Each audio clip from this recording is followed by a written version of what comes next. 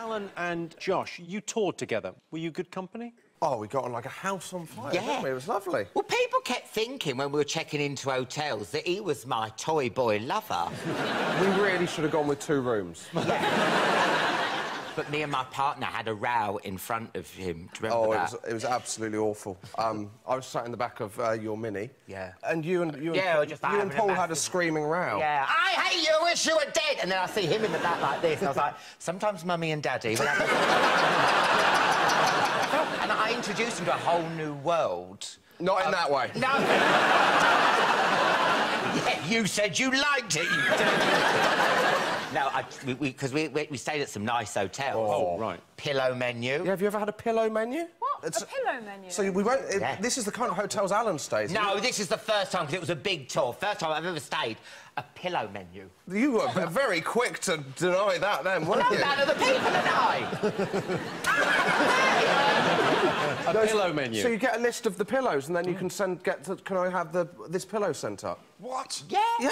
And an honesty bar. Listen to this, Manchester. An honesty bar. They trust you. They give you the drink, and you just put in the money of how much you've had on the night. yeah, right. It's like four o'clock. You're sitting there with like sickle down. You're going, I've only had a Rubicon.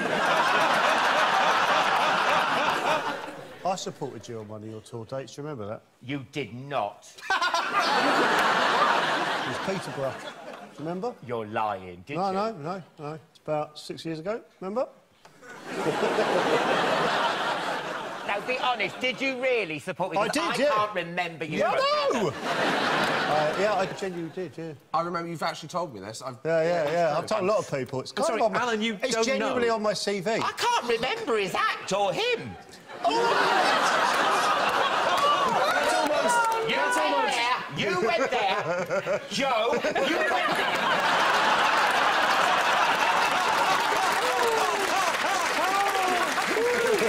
Sara, now your captain tonight is Joe Wilkinson. Are you? Yes. Um, I mean, apologies, firstly, because Because I'm scum.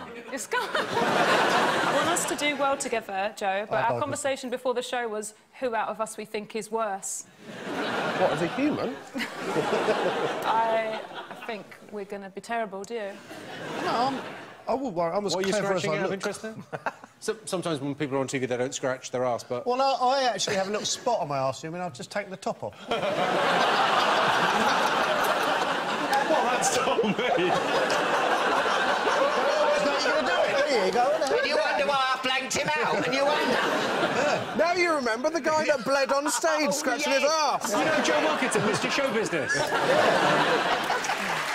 Susie's written 14 books and they're a must-have for any home, whether you need a doorstop, a coaster, or just something to throw at your partner, they're perfect.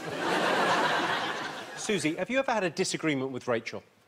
Um, no, we're pretty, we're good friends, Rachel and I. We, the only time I could ever remember Rachel being a little bit miffed is because we swap bras sometimes, and I think you thought I had lost one of her bras. We don't swap bras. Susie, Oh, okay, I borrow bras. Susie just comes in and she's never got a bra to wear. We do 15 Yeah. shows and it's always just, can I just borrow your bra again? Am I, am I asleep right now? It's not just bras though, it's any kind of undergarments, whether it's a slip or a skirt or a little t-shirt. She mix it all. This is too much for me. I can't do this. Oh, God, even I'm getting a semi.